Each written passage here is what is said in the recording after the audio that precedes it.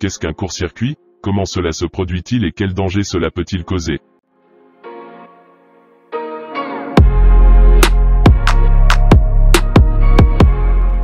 Le circuit électrique de voiture est de plus en plus complexe, l'augmentation du nombre des accessoires électriques, mais aussi de circuits de surveillance de certains organes, notamment électroniques, a considérablement complexifié les fils électriques.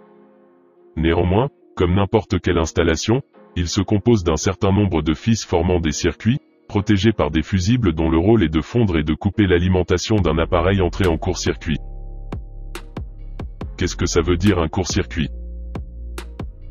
Le court-circuit est un phénomène électrique qui se produit notamment lorsque deux fils électriques sont mis en contact direct. Le plus souvent suite à un défaut d'isolation, il se traduit par une augmentation brusque de l'intensité du courant qui peut aller jusqu'à provoquer un incendie. Lorsqu'un courant électrique circule, il se produit toujours un échauffement. Celui-ci est en général faible et presque imperceptible lorsqu'un circuit fonctionne dans des conditions normales. Le courant qui circule dans le fil de court-circuit est très intense, car aucun récepteur ne l'utilise, ce qui provoque l'échauffement de la pile. La batterie risque de se décharger rapidement, et si l'échauffement devient trop important, elle peut être détruite. Le court-circuit peut provoquer des dommages matériels et même corporels. Il ne s'agit donc pas d'un courant anodin, d'où il faut être vigilant.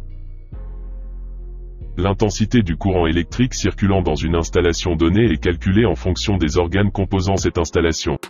La section des fils électriques reliant ces différents composants tient également compte de cette intensité. Il peut cependant arriver qu'un court-circuit accidentel engendre une intensité nettement supérieure à ce qui a été prévu. Et alors les fils électriques vont s'échauffer d'une manière telle qu'ils finiront par fondre, la batterie va se décharger très rapidement. De plus, il y a un risque non négligeable d'incendie du véhicule.